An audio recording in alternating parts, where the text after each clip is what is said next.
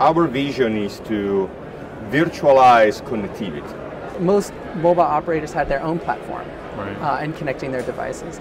And it would take about a year, a year and a half for integration.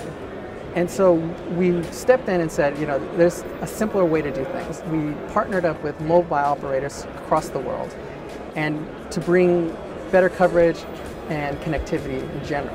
there is a need for uh, the, the computing part instead of st- staying in the cloud.